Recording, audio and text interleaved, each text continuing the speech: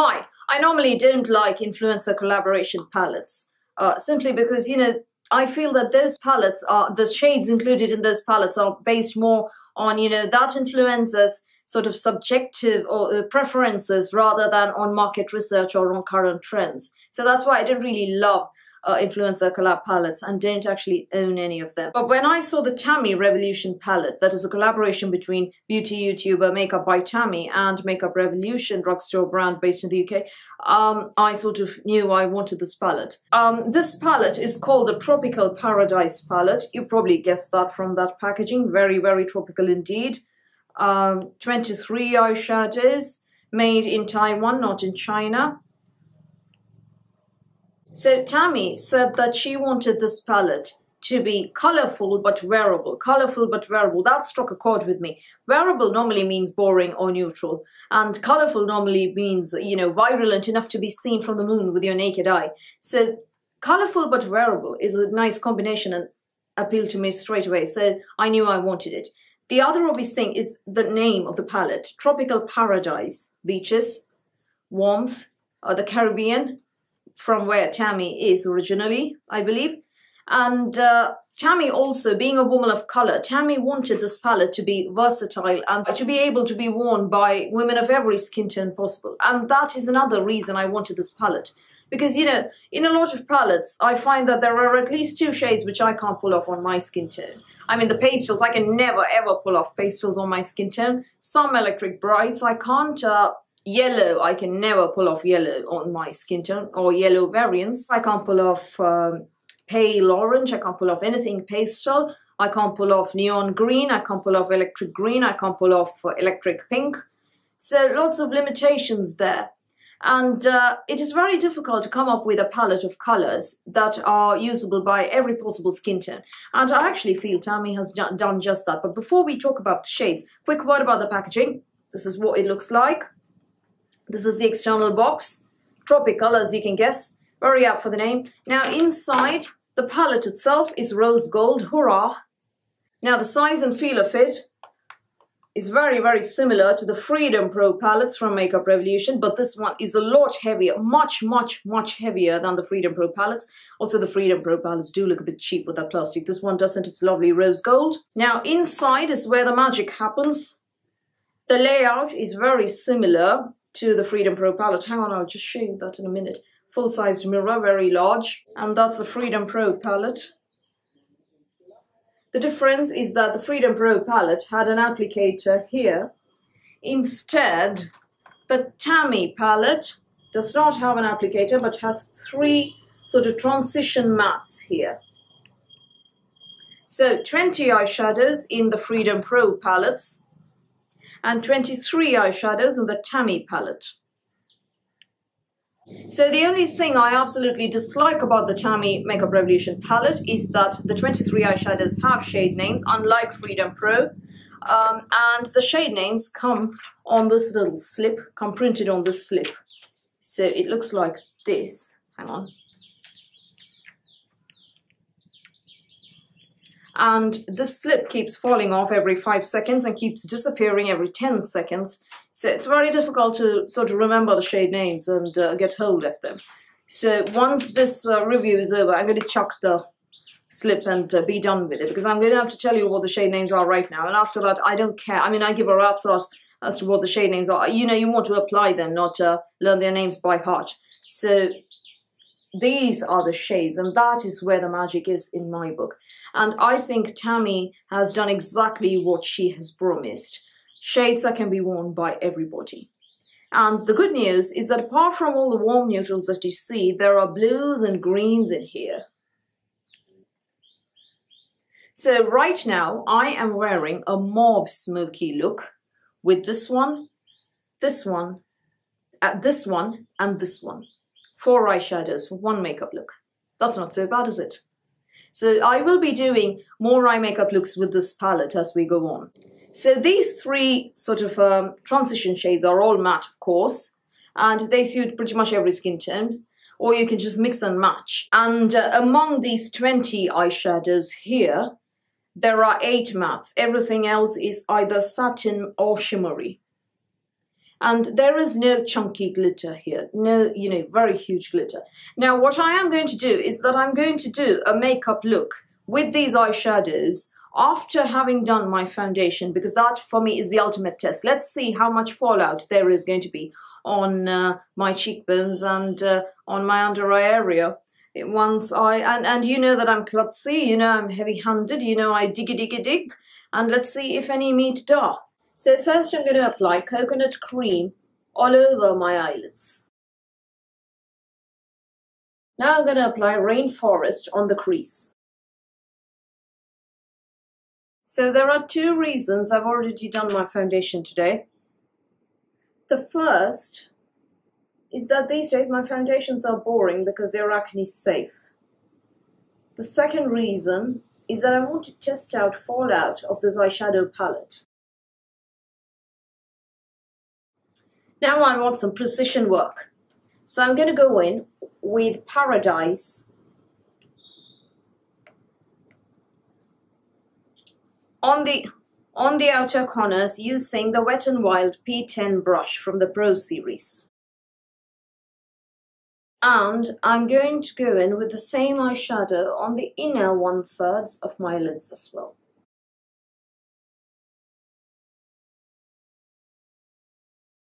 So first I'm going to apply a bit of my Estee Lauder Double Wear Flawless Concealer right in the middle of the eyelid. Now to take some Golden Suns and apply it on top of that.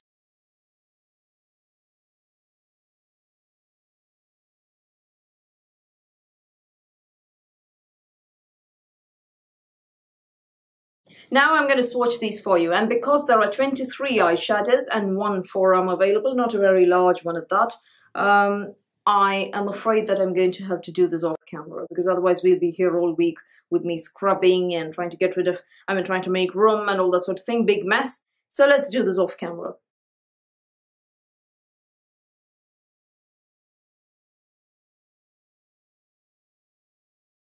Um, I will, however, swatch some of these live. So let's swatch the blues and the greens first. Let's start with Paradise, which is a nice olive green. A nice goldy olive green, I must add. Absolutely beautiful, and that pigmentation. So next, because we're doing greens first, let's do Rainforest, which is a matte. You know this is going to be uh, incredibly good.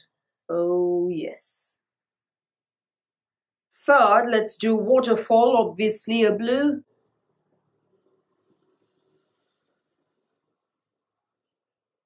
No, no problems while swatching, doesn't look patchy or anything. Uh, no problems there. To the touch, it did feel a bit uh, patch, uh, dry. So next, let's do that golden color. It's called Golden Suns, not a matte. Oh, now this is actually quite a wearable gold.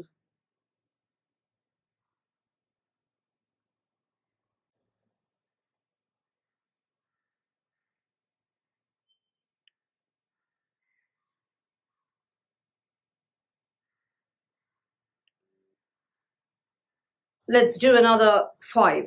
Um, first up, let's start with Tropical. A matte yeah, my watch is in the way, isn't it? Oh well.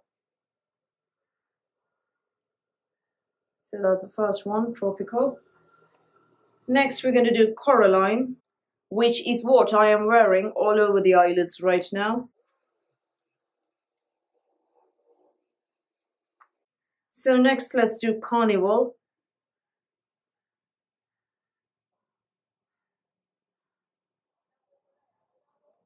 Oh my. Now let's do Puppy Pops, which is what I'm wearing in the crease and in the outer corners. And I also smoked it up with Midnight Stroll. So Puppy Pops is matte.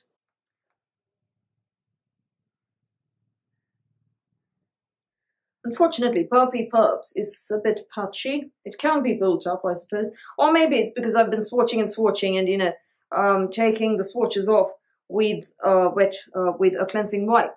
So I don't know if that is the reason, but either way, this didn't turn out as smoothly as the others did. So let's do uh, one more, Caribbean.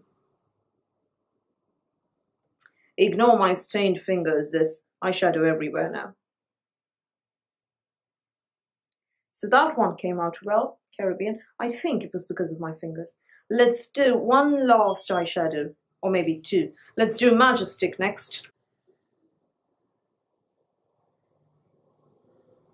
Majestic had a bit of a patchy problem as well. I think it is because I'm using the same fingers and sort of, you know, taking off the color with uh, a cleansing wipe, and that is the reason. Uh, ignore my head, it's very poofed up because of all the heavy rains that we've been having. There's a lot of humidity right now. So finally, I'd like to do one more shade, Burning Heat.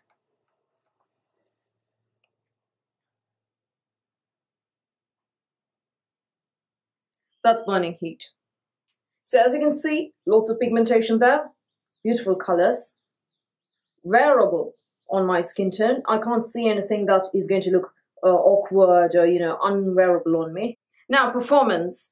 Um, I did tell you that a couple of shades, particularly Majestic and uh, Waterfall, Waterfall felt a bit dry to the touch and Majestic appeared a bit patchy uh, whilst watching. However, there were no such problems while applying it to the eyes and uh, as you've seen from my makeup look there, there was very little fallout on the under eye area or on the top of my cheekbones, while uh, despite having a heavy hand and despite sort of going at it nicely with a makeup brush. So very good performance there.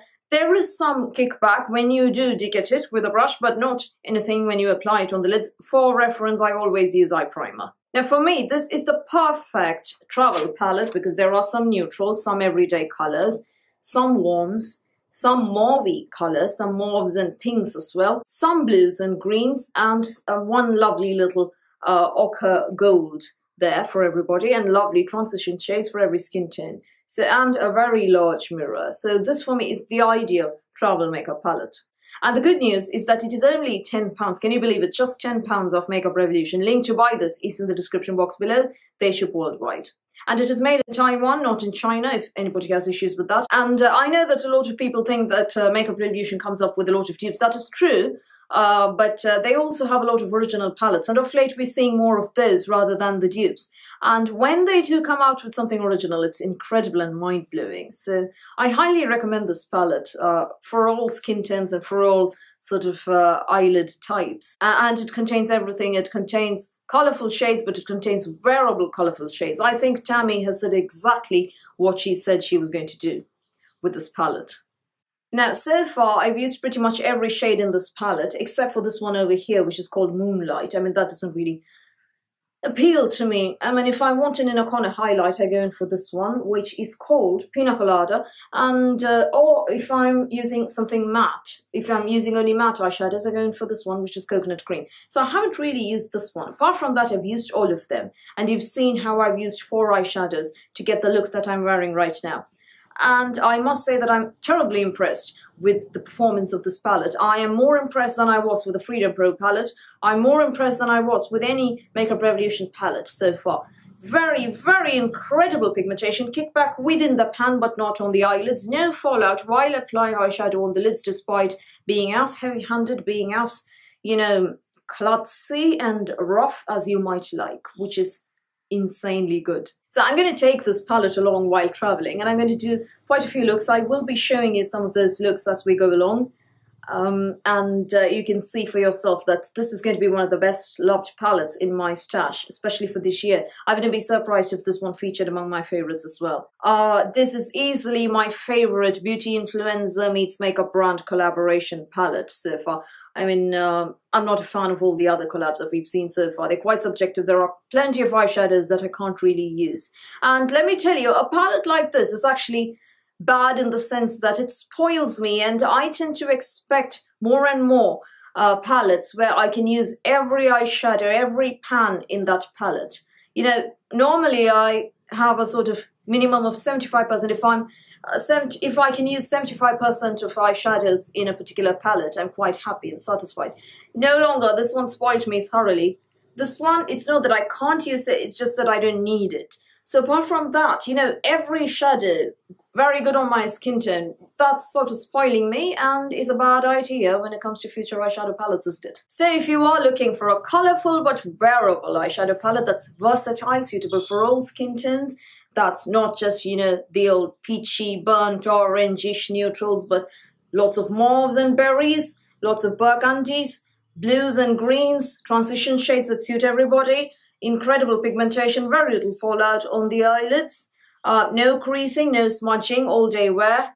So all in all, an excellent palette, not just for the summer, but also for the fall, thanks to all the berry and uh, sort of fall burnt shades in there. And uh, comfortable, silky, soft uh, shadows. Then the Tammi Revolution palette, Tropical Paradise palette, is a very, very good choice and is possibly one of the best palettes that we've seen this year. And it's only £10. Come on, you can't go wrong with £10. And it's also the perfect travel palette. So link to buy this is in the description box below. Um, I highly recommend it and I intend to buy a few to give as gifts during the holiday season. So that's all from me for today. Thank you for watching this video. Please do give me a thumbs up and please do hit the subscribe button. And I'll speak to you soon.